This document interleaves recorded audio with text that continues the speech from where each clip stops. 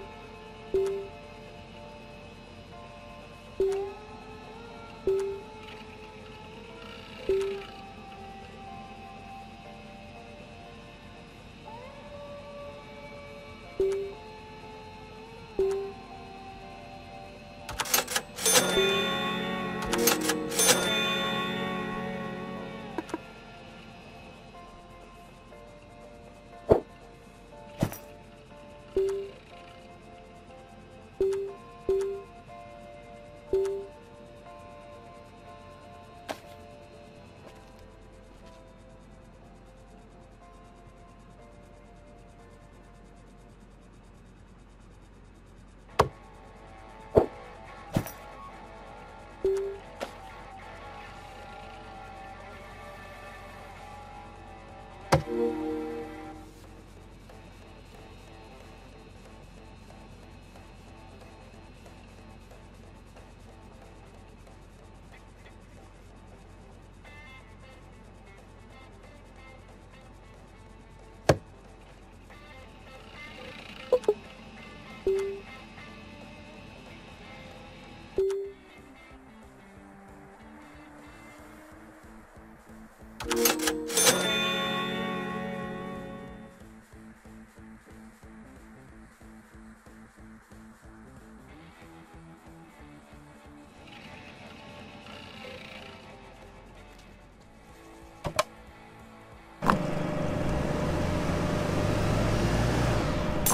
I wanted.